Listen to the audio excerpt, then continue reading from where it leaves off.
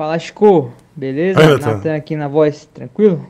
E aí? Ô, Chico, é, aproveitando agora que tá para sair aí os lançamentos da, das ONTs, né, pela JTZ, deixa eu ver se você compartilha do mesmo pensamento que eu. É, por exemplo, vai lançar cinco motos das ONTs agora. E todas as motos, eu percebi que elas são ali, né, na, na faixa de 300, 350 cilindradas. Então, na teoria, a JTZ ela tem uma montadora, né, uma fábrica de motos, uma marca, para cada cilindrada. Ou seja, ela vem com a Suzuki ali nas, nas altas, né? Começa a partir de 600 cilindrada, acredito eu, né, da V-Strom 650, e vai até 1000. E ela traz a Hauju, né, com motos de baixa cilindrada também, é, na parte ali da da DK, DR, traz a Lindy também, que é uma scooterzinha pequena. E aí eles acharam as ontes ali para cobrir uma área que eles não tinham, né? Que eles tinham um pouco de déficit, que era na parte das 300, 350 cilindradas. E aí na parte de, de quadriciclo, né? De, de scooter premium ele tinha quinco, né? Então, é, tendo em vista isso, você acha que isso dificultaria ela começar a trazer uma ou umas ontes baixas cilindradas que a gente sabe que existe, né, uma 125 cilindradas, ou uma Hauju 300. Você acha que ela isso seria um, um impedimento para ela trazer esse tipo de moto, tanto da Hauju 300 cilindradas e das ontes 125? Porque ambas eu acho umas, uma baita moto, cara, tanto da da, da pequena linha da, das ontes, né, que tem aquela U o 200, o 125, eu acho que são as, umas motos muito lindas, Chico. Seria excelente vê-las aqui no Brasil também. E tanto aquelas 300 cilindradas da Hauju, né? Mas vê se você compartilha da minha opinião também. Natan, um grande beijo para você. Minha mãe, Dona Tita, sempre disse para mim: quem quer fazer tudo não consegue fazer nada. E aí ela sempre complementava: quem quer fazer tudo ao mesmo tempo não consegue fazer nada. Dá para fazer essa mesma correlação à JTZ. Que se ela quer fazer tudo, tipo trabalhar com tantas marcas ao mesmo tempo, né? De forma concomitante, não vai conseguir fazer nada. Minha mãe, Dona Tita, é uma sábia quem quer fazer tudo ao mesmo tempo, quem quer fazer tudo, não consegue fazer nada. Então, é, digo para você, não sei se eles vão lançar três, cinco motos, não, viu, amiguinho? Não sei se eles vão lançar cinco motos. Agora, no dia 25. Não sei disso. Não tenho certeza. Mas não acredito que eles possam trabalhar tanto assim o catálogo, diversificar tanto assim, porque eles já têm uma dificuldade com as ontes, criada por eles mesmos em 2023 no lançamento das ontes. Eles mesmos criaram o problema as ontes. Hoje as ontes é um problema no Brasil, para eles, porque criada pela própria JTZ. Vocês já sabem da história, não preciso ficar lembrando. E agora eles precisam resgatar o que nunca teve, né? Na realidade, como é que é que o Neymar fala mesmo que eu, eu falei isso pro senhor Patini, lá da Royal? É, como é que é? Ajuda aí, povo do chat. Como é que era que o Neymar mandou para aquela mulher lá que quase bagaçou a vida dele? Saudade do que nunca vivemos? É mais ou menos isso.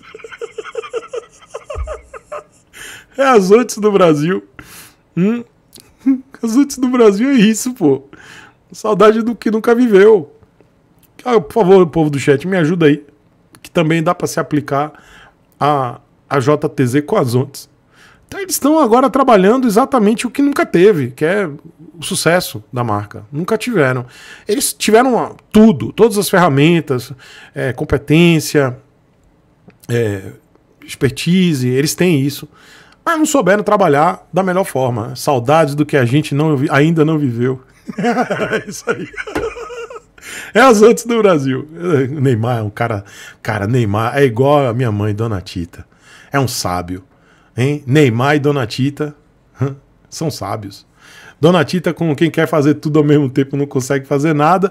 E o Neymar, com que saudades do que a gente não viveu. Tudo isso se aplica à JTZ e às Ontes Brasil.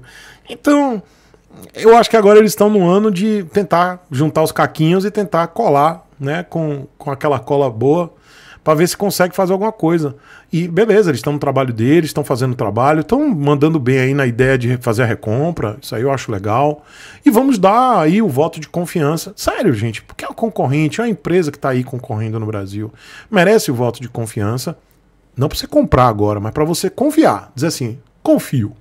Daí para você botar o dinheiro e comprar é outra situação. Vocês entenderam a diferença?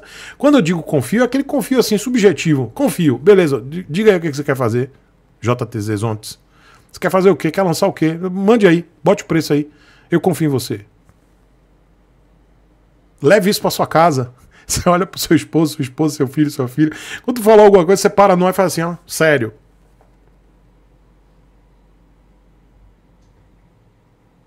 Funciona. Entendeu? É isso que você tem que fazer pra JTZ quando ela disser, não, vamos lançar, é, vamos fazer um monte de coisa, Isais, cinco motos, acredita na gente, tá? Você faz assim, ó.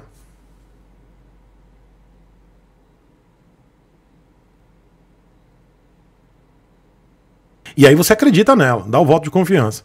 Mas, daí é você pegar seu dinheiro e comprar a moto, é outra situação, entendeu? Aí eu passo 4, 10.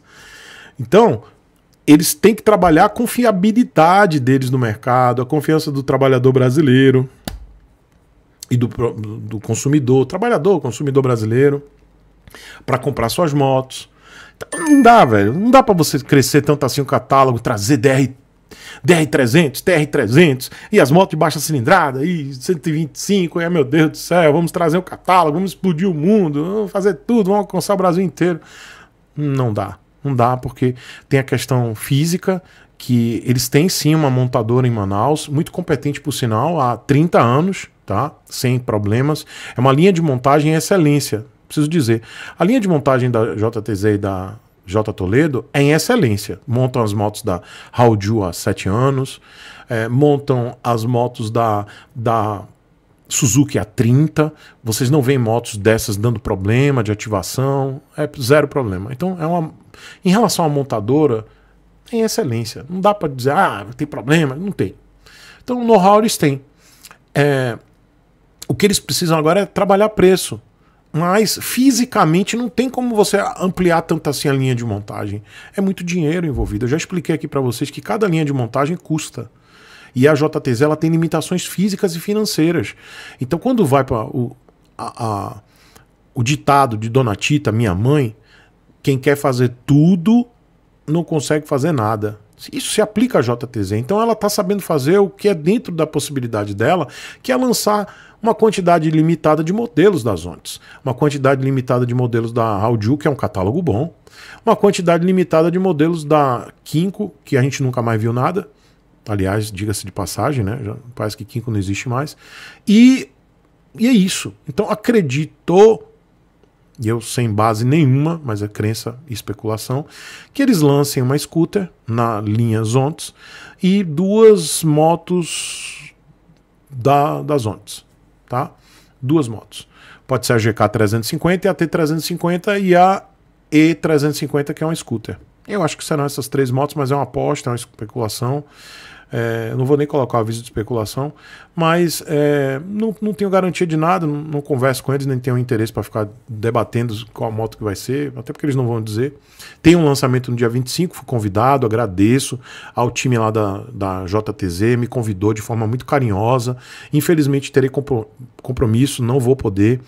Já mandei uma mensagem para o time do marketing agradecendo o carinho pelo convite, mas não vou poder participar, acompanhar, mas vou estar aqui né, acompanhando de longe a, o lançamento tal e as novidades. Se eles me passarem a tempo, eu vou estar aqui, vou fazer uma live para vocês e vou dizer o que aconteceu.